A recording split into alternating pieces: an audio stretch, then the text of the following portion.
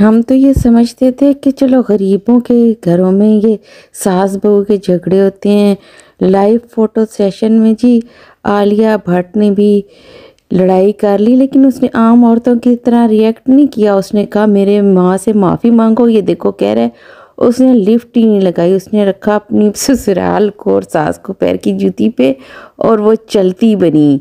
ये देख के उसकी सास और उसका मियाँ तो हैरान रह गया, ऐ देखो, ये शाबाश है, कमाई खाओ, बाहर भेजो और फिर ये कहो कि मेरा हुक्म भी माने और फिर मुँह उठा के पीछे पीछे उस दोनों के चल पड़ी हैं इसको।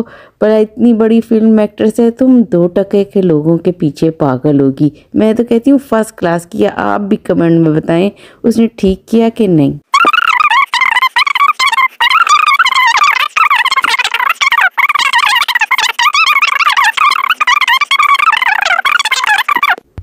Please subscribe my channel and press the bell icon.